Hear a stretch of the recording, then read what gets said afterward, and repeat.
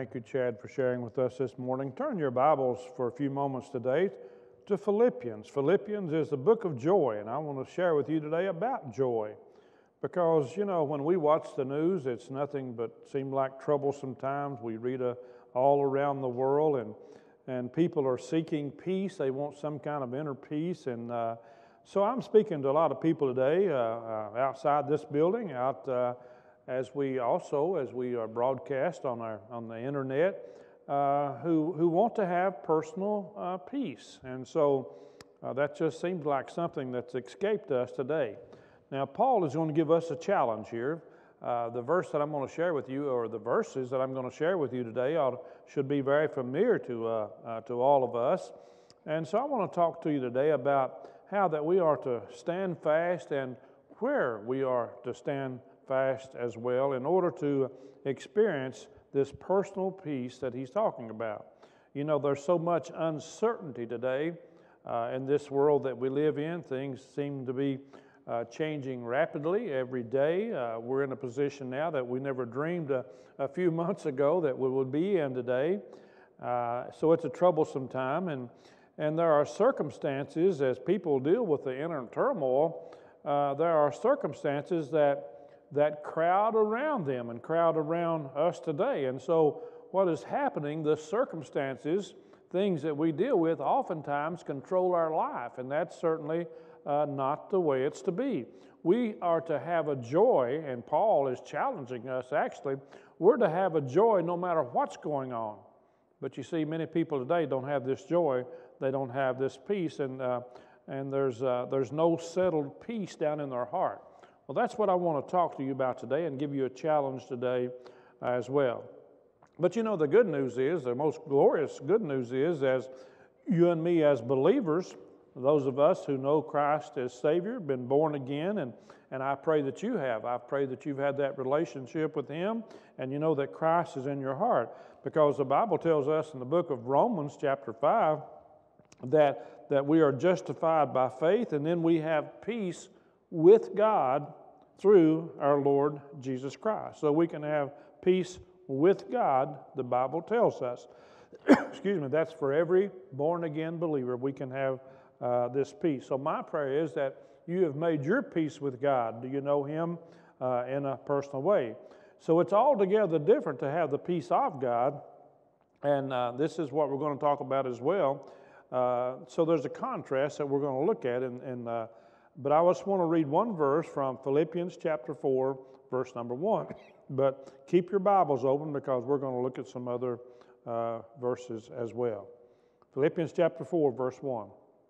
He says, Therefore, my brethren, dearly beloved and longed for, he missed these people. He said, My joy and my crown. Now, look what he says. So stand fast in the Lord.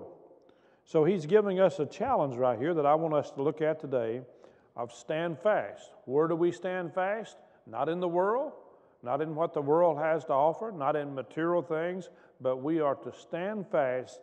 He says in Philippians chapter 4, verse 1, he says, We are to stand fast in the Lord. Father, I pray that you'll bless the reading of your word uh, to the understanding of our hearts and minds.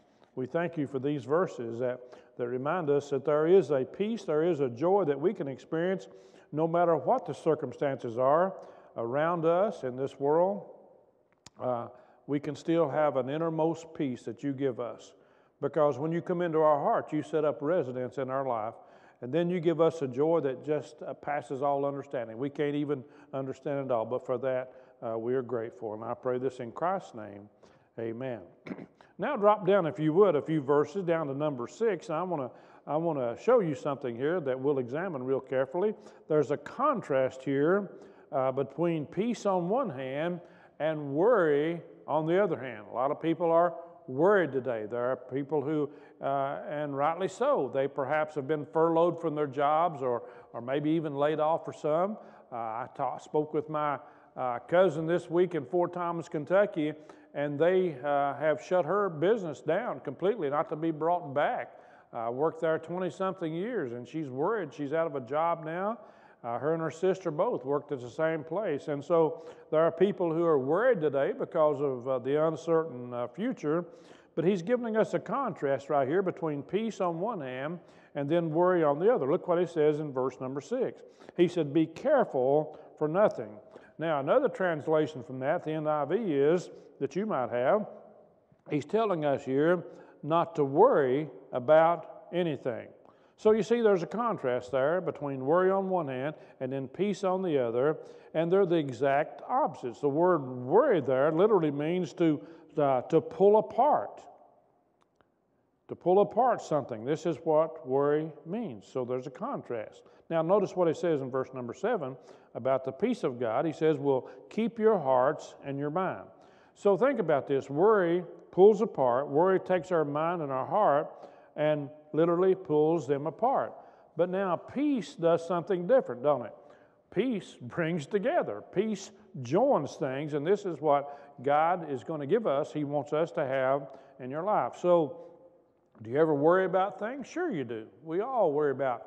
And you know, I was coming out here today and I'd watched the news this morning, the early news, and and I just uh, I was thinking about some things that was said this morning. Uh, some young guy that he and his wife started a business and they invested all the resources they had in this business. Uh, and now they were shut down, of course. And he said that they couldn't afford to pay the rent for the building and go on. And, and he said all that we had, evidently, he didn't get his help like he thought he was going to from the government. And so he was, he was really worried. And I thought about that as I came out here today. Uh, he, he, is, he was just there's more and more like him. That you know, there's a there's a lot of folks just just like him. And so I thought, here I and I, you know I worry about that as well for him. I'm thinking, here's a guy, he and his wife, they put all their the resources together, everything they had to do this, and now it's probably gone down the drain, every bit of it. So I thought, you know, I'm going out here today to talk to people about not worrying, and here I am uh, worrying myself. And so sometimes we, we worry about things. Uh, uh, someone has made the statement the spiritual biography of many people in the world is hurry, worry, and then bury. And, and I guess those three uh, go together because, you know, worry can certainly cause a lot of problems. And so the Lord doesn't want us to, uh, to be worrying about these things. Worry will cause us to have uh, physical problems as we, as we deal with the life. There are those who worry, and then that turns into uh, uh, to depression. A lot of people suffer from uh, uh, depression, you know, and they, uh, they don't have the, we don't have the freedoms that we once had. We're limited now on a lot of things that we can do, and, and perhaps even in the future for a while, there may be some things that we're limited that, that before we took for granted. You know, I'm never, I don't believe I'll take anything for granted anymore. The privilege we've had before, just getting up and going to Lowe's or Walmart's or anywhere we wanted to go and not have to wear a mask or not, not worry. You could go in and visit someone in a healthcare facility or, or go to the hospital and do blood work and all those things. Now, now we're standoffish when we come to those things because we worry about that. We don't want to uh, uh, be exposed to something that we might get, and this is a, a terrible thing that's going. And so it bothers us, our physical well being. And you know, worry will also cause high blood pressure. There are just so many things that's affiliated uh, with that when we worry. Ulcers, a lot of people, you know, deal with ulcers in life and they'll tell you, yeah, it's, it's because I have worried about things. I, I, was reading an article once by Dean Ornish. He was a, a cardiologist, a well known cardiologist, and he made a very good point in his article that he wrote. He said uh, that your emotional well being has a great deal to do with your physical well being. So, in other words, he's saying that worry can cause all kinds of physical problems. And, and we know it can now. Well, surveys and all that, and, and dealing with people through the years, we certainly recognize that to be true. So, it can cause emotional problems. Then, when you have emotional problems, that causes emotional stress. That works on you probably harder than anything else because that can also work on your spiritual uh, problems as well. We begin questioning God about things oftentimes. You know, I love the Sermon on the Mount. The greatest sermon that's ever been preached on this earth was preached by none other than our Lord and Savior Jesus Christ from the Sermon on the Mount. And Jesus uh, had told them there about not worrying.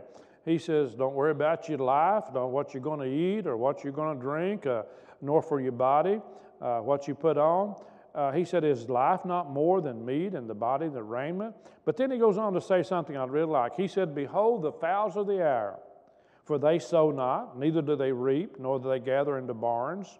But yet your heavenly Father, what does He do? He takes care of them, does He feeds them.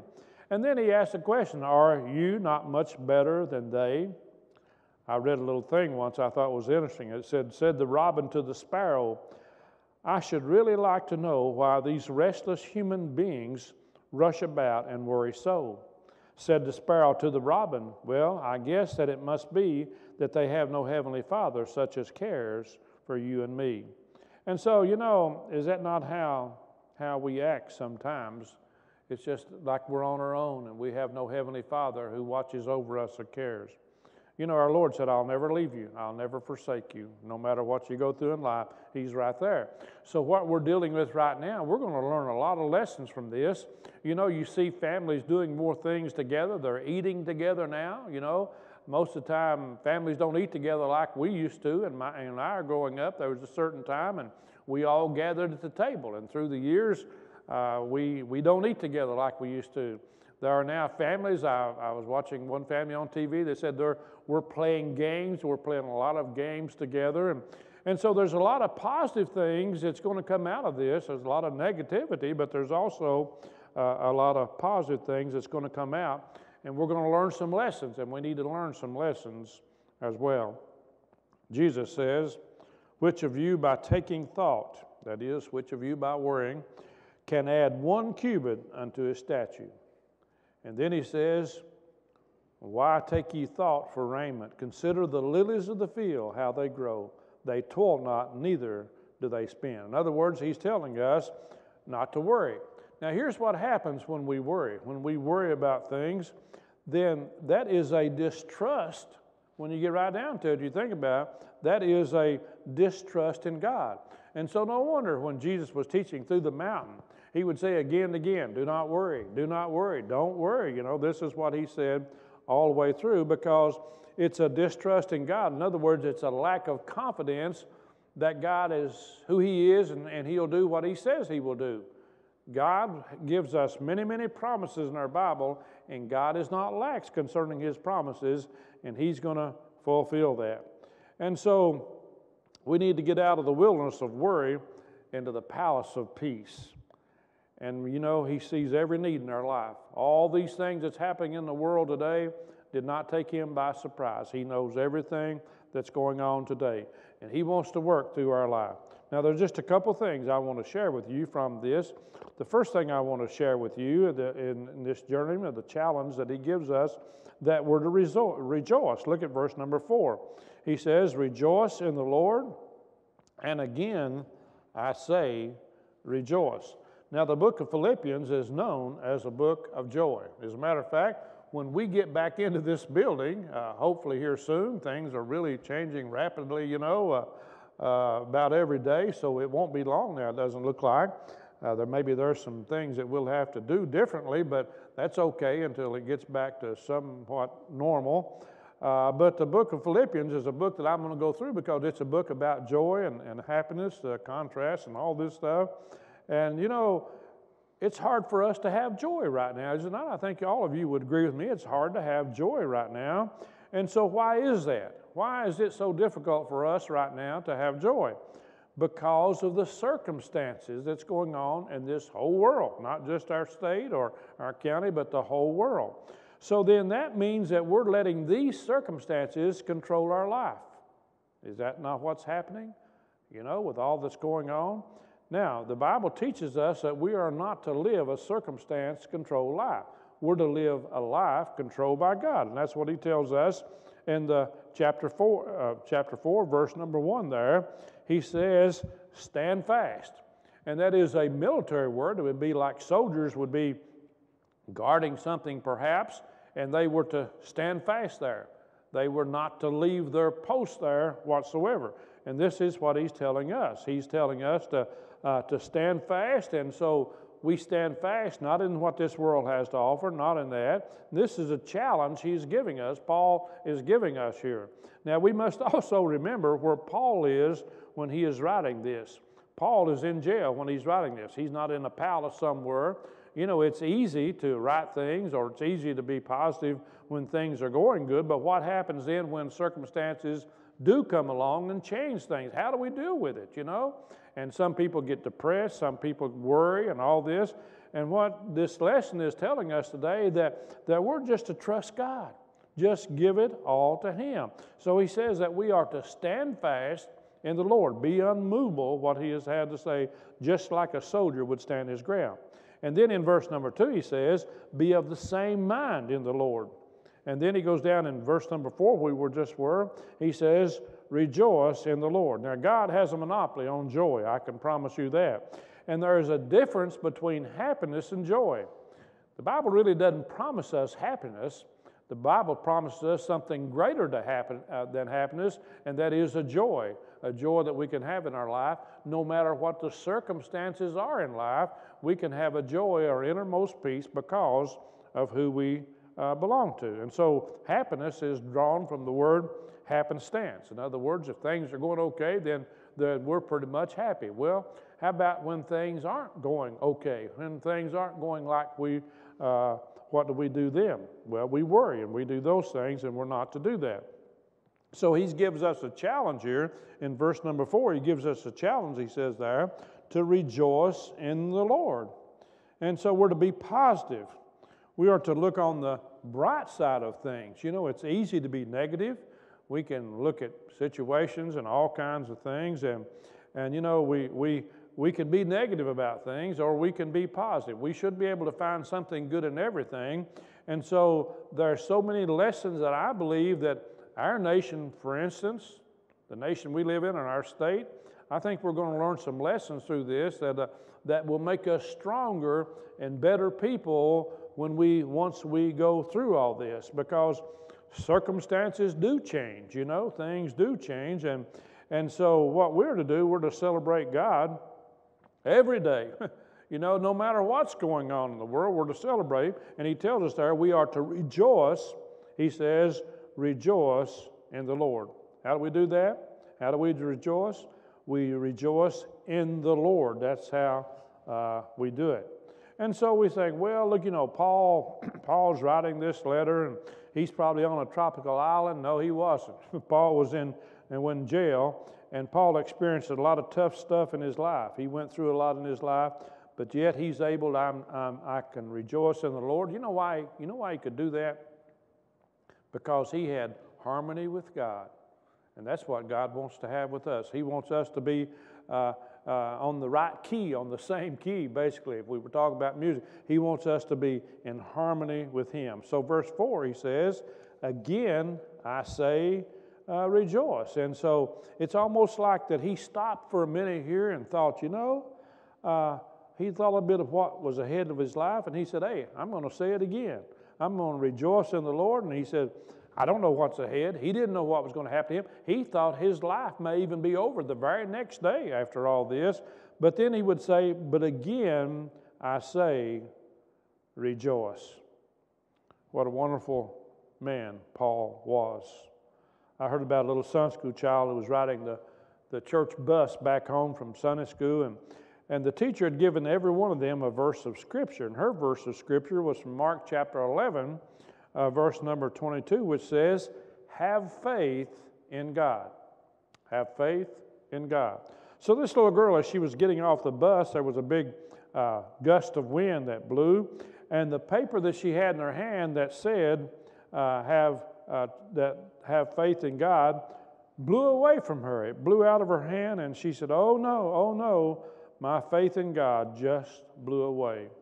You know, when the storms of life come, it's easy for us. It's just, it's just easy for us sometimes to, to let our faith blow away. We don't understand what's going on, and we begin questioning God and all this. And, you know, it's, it, it's just like a, we must be connected to the Savior. You know, you can have a, the most beautiful faucet in your house and your, on your kitchen sink or uh, just a, a beautiful faucet there, but you know what? If you're not connected to the water line that comes into your house, that faucet is not going to be of any use to you. You know, we must be in harmony. We must be tuned in. You know, we have so many people today that want the faucet, but they miss the connection. We're to be connected every day with the God in heaven. And so it's only as we are connected to Him is He able to work through our life and bring us uh, this joy and this peace that only He could do. You know, even when Jesus was facing the cross, you know, He went to the cross for your sins and my sins. And, and the time that He was facing the cross, He says, May my joy remain in you. And so that is not just a regular joy that we experience. You know, God does things in the supernatural, does He not? And so we have a, a, a supernatural joy that we can have through, uh, through Him. And so, you know, I, I, have, I have been around and met many people, and when you look at their life, they, they basically had about every right to be discouraged and uh, by seeing every reason to be down in their life. And, but yet, you know, there was such a, such a radiance of joy and peace that come from people that I've had the opportunity through the years when I was chaplain to hospital to, to minister to. And, and you would look at their life and what was going on or their family life, and, and they would have every right, you know, you would think, to, to be discouraged or to be depressed. But yet, that wasn't the way many of them were. They were, they, they were experiencing this supernatural joy. That's, what, that's the kind of joy that God wants to give us, not just the regular joy here and there. He wants to give us a supernatural joy, and we have that because He is the source. You see, he, He's the source for everything in your life, for you and I living the Christian life day by day, experiencing Him day by day, being in harmony with Him. And when we're, when we're there with Him, then we're going to experience this joy no matter what goes on around us, no matter what the circumstances are. I don't care what it is because we are, we are in Him. Now, the second thing that he challenged us with in verse number five is that we are to let our moderation known. In other words, we are to be yielding to him. And that word there uh, means uh, gentleness or graciousness. Uh, saying, let your, your willingness be, let your moderation be known uh, unto all men. And so we are to be yielded to the God in heaven. And he's not talking about not talking here about giving up any of our spiritual convictions. You know, I know what I believe and why I believe it, and I stand on that, I, and I'm not going to sway from it. He's not talking about giving up our, uh, he's talking about us yielding to the God in heaven. The Lord, he says, at hand in verse uh, number five. He's right here. So he was experiencing he was Paul live, was living so close to God, he was experiencing him all the time. That's what God wants for your life and my life. He wants us to experience him, not just on Sunday when we gather here at, uh, at the church. He wants us to experience him tomorrow as you're in your home, perhaps, uh, or maybe some of you on your job or wherever you might be. He wants you to sense his presence, just like right now, he wants you to sense his presence with you as we have gathered here today in our automobiles to worship Him. So He's a wonderful God. And He tells us in verse number six, He gives us a challenge about praying that we should be, we should be praying about everything. He says, be, be careful for nothing, but in everything, notice there if you have your Bibles, and I hope you do, He says, in everything by prayer. Friend, prayer is the key to everything about your life and my life. There's a beautiful song. And in that song, it says, I can't, I can't walk on water, but I know someone who does. I can't calm the sea, but I know someone who does. Some call him Savior, but then the singer says, I call him Jesus. And so, you know, there's things in life that we can't do, there's things that we attempt to do. You know, I, I can't save anyone. you know, I can tell someone about Jesus, and so I can tell them someone who will uh, save them. And I can't walk on water or I can't heal people. I can't do these things, but I know someone who will and someone who does, and it's Jesus Christ. He wants to be Savior of your life. He also wants to be Lord of your life every day. So when we're connected to Him as Lord and Savior, not just Savior, sadly, many people just want Him to be the Savior because they don't want to die and go to a devil's hell. but they don't want the Lord to be Lord of their life every day because they want to direct their own life. They want to call their own shots and decide what they want to do without consulting a God in heaven. Well, He wants to be, He wants to direct our past because He knows what's best for us. He knows the direction our life needs to go in, and He knows how to get us there. And so we just, by faith, we trust Him. This is exactly what the Apostle Paul did, and this is a challenge that Paul is giving to you and I today that we're to just trust this God in heaven. Trust this God who's sufficient about everything that we deal with in life. And pray. And he tells us the last thing there that we are to, uh, to pray. We're to just believe that he'll do what he says he'll do. And this is a promise that Jesus has made that he will do that. He'll give us a joy, give us a peace, no matter what's going on in this world, we can experience that when we are in harmony with him. We're going to have a moment of invitation. Bow your hearts before the Lord right now, and perhaps there's, perhaps you're not experiencing this joy that the Bible talks about that we can have. You're not experiencing that nearness. You say, Well, I'm a Christian, I, am saved, I've, I've invited Jesus Christ to come into my heart and, and forgive my sins. I've done that, I'm saved, but I'm just not I'm just not experiencing what you're talking about today and what Paul is talking about. I'm not experiencing that in my life. Maybe you're out of harmony with God. So, my question would be to you while you sit there in your car today who's in charge of your life? Who's directing your life? Are you doing it or are you following the leadership of a God in heaven who knows what's best? You see, He knows what's best for your life and my life. And He knows what it's going to take to get us from where we are to where He wants us to be. And so by faith, we just trust Him to do that. And then we allow Him, when we do that, we're allowing Him to go to work in our life. And He's going to bring a lot of things into our life. And one of those things is what we're talking about today. He's going to bring a joy in your life. Maybe some of you aren't experiencing that joy. And perhaps it's because you're not in harmony. You're not in harmony with God. Right where you're sitting today, perhaps you need to, to recommit your life anew to serving Him. Say, Lord, I, I, am a Christian. I know I'm saved, but Lord, I've just been doing my own thing. And I want you to be on the throne of my life. I want you to be number one in my life. And all these other things will have their, they'll have their place in life. But I want you to be number one, first in my life. And then these other things we'll have will be things that will bring honor and glory to Him. We'll use them in that sense. That's what I pray for you. Draw close to Him.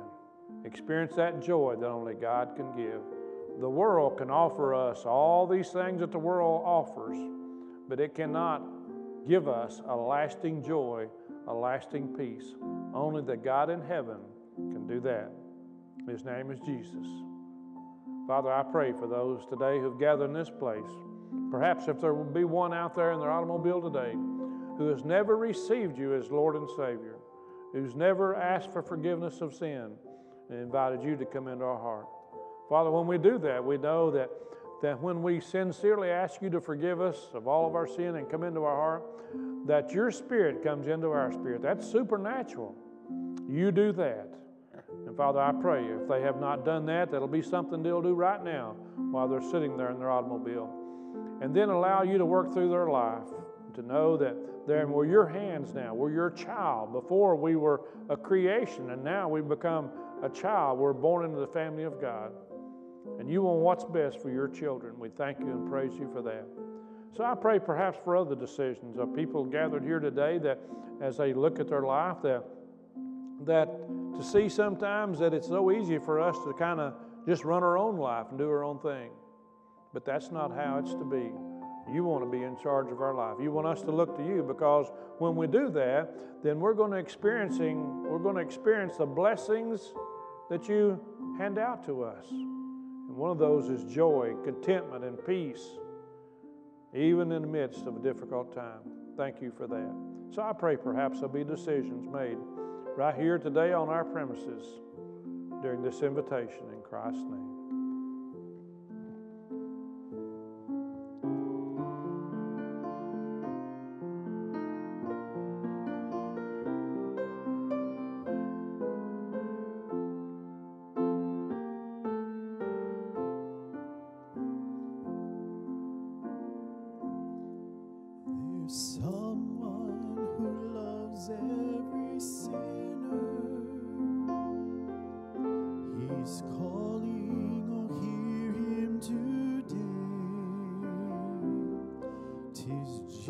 Jesus,